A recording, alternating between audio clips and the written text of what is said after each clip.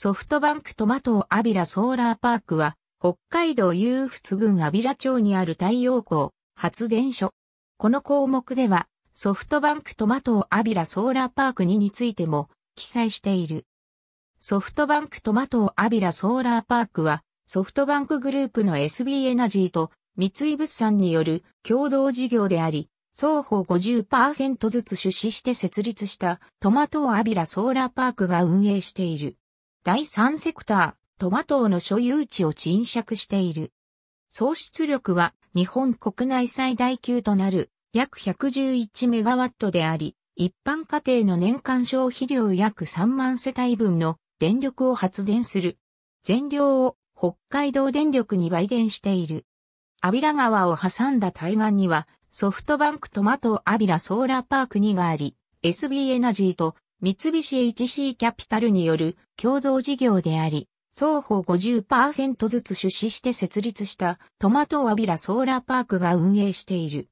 蓄電池を併設した太陽光発電所としては日本国内最大規模であり、一般家庭の年間消費量約19,800世帯分の電力を発電する。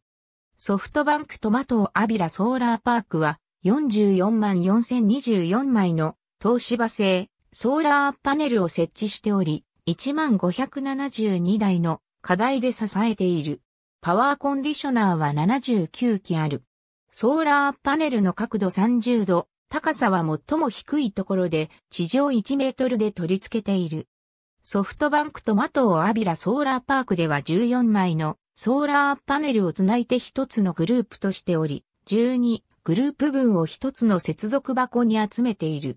この接続箱4箱分を一つの集積箱に集め、さらに集積箱8箱分をパワーコンディショナーに集めている。変電所では6万6000ボルトに昇圧して、北海道電力の鉄塔に送っている。